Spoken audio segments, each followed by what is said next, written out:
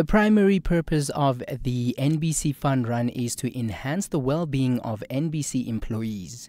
The corporation firmly believes that healthy employees will show decreased absenteeism and increased productivity as elaborated by NBC's Employee Engagement Officer, Lucy Rocco. Rocco says the event embodies unity, wellness, and a noble cause. The NBC Fun Run is more than just a physical event. It is a testament to the power of unity and collective action. It represents the dedication of NBC to its staff, viewers, and to the broader community. Because we believe that by working together, we can make a meaningful impact and contribute to the well being of our society.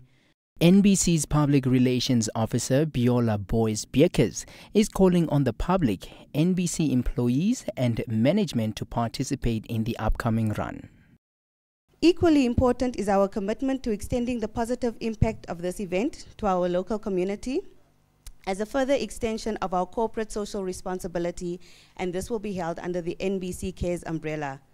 The Miss Namibia organization, as part of the NBC, will, as well as um, local sports personalities, will also join hands with us and run, walk, and for Miss Namibia and her um, Miss Namibia, Miss, Miss Earth, Miss Universe, Miss World, and Miss Teen, uh, they will also strut for us.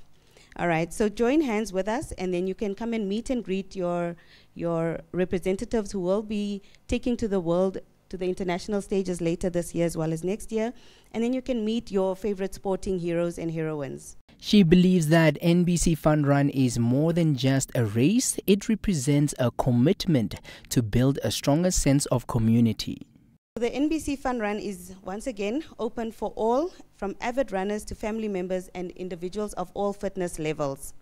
So I myself will be taking a walk, a very slow walk.